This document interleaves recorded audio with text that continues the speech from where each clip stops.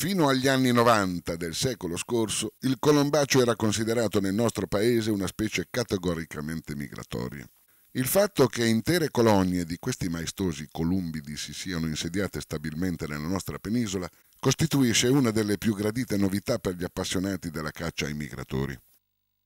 Novità per novità, la proverbiale intraprendenza dei cacciatori italiani ha apportato una nuovissima tecnica di adescamento a questi selvatici, la caccia con le aste.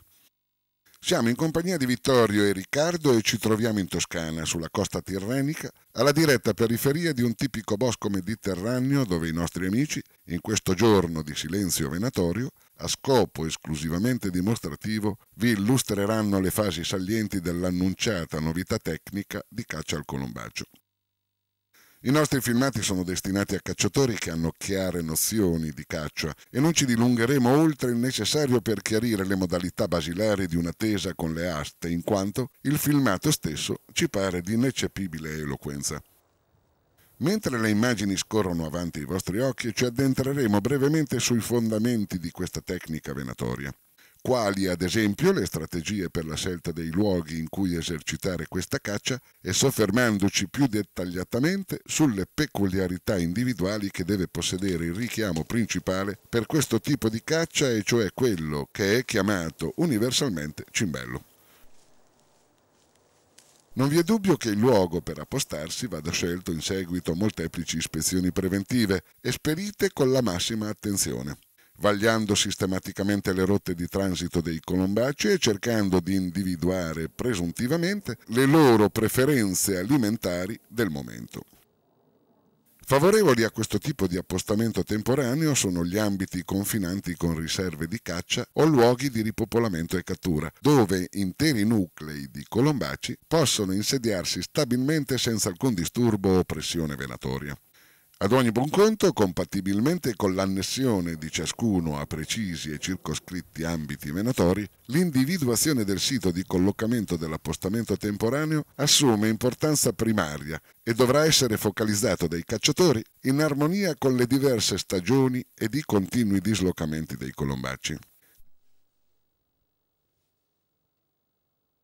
Di primaria importanza assume anche l'identificazione, tra il team di richiami disponibili, dei cimbelli più idonei a svolgere un ruolo estremamente delicato. Le ragioni per cui si punta sulla docilità e la bravura del cimbello adibito a questo ruolo sono diverse. Prima fra tutte, l'estrema delicatezza del percorso che deve compiere il cimbello mentre viene sospinto per mezzo dell'asta verso l'alto. Deve stare appollaiato sulla racchetta con il pendulo cordino di trattenuta assicurato alle zampe attraverso le contorte frasche degli alberi. Nel corso della manovra con la quale lo si innalza fino a farlo emergere dalle cime, affinché sia ben visibile anche da lontano dai colombacci in transito, il cimbello deve rimanere assolutamente immobile sulla racchetta. E ben fermo deve restarci soprattutto quando il cordino pendente venisse ad impigliarsi accidentalmente tra i rami ed il cacciatore dovesse, al fine di disincagliarlo, procurare movimenti laterali o lievemente rotatori alla punta dell'asta sulla quale è fissata la racchetta.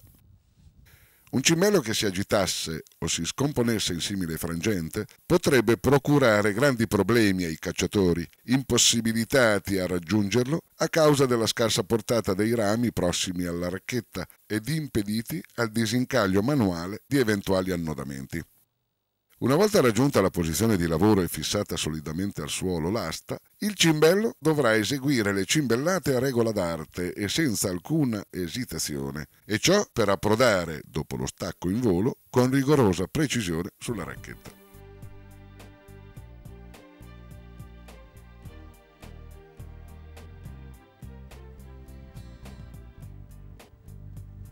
Per assicurare maggiore solidità al trespolo sul quale agisse il cimbello, la scelta per la confezione delle aste è sempre indirizzata su materiale rigido e indeformabile e tale da impedire oscillazioni laterali all'asta che potrebbero causare l'incaglio del cordino ai rami vicini.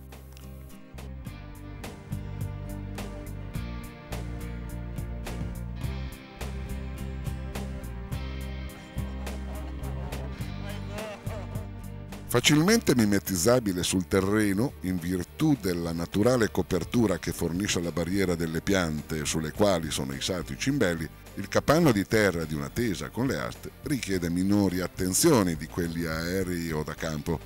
E ciò perché l'attenzione dei colombaci in transito è prioritariamente rivolta all'area prospicente ai cimbelli. Ma poiché con questa tecnica ci si propone di insidiare colombacci acquartierati, la mimetizzazione del capanno di terra non va assolutamente trascurata. E ciò soprattutto quando ci si pone l'obiettivo di assicurarsi la migliore visuale possibile per poter effettuare tiri dal basso verso l'alto ad uccelli che transitano velocemente apparendo sempre in maniera improvvisa tra frasche di piante ancora in foglia rendendo in tal modo assai aleatorio il tiro anche se estremamente avvincente.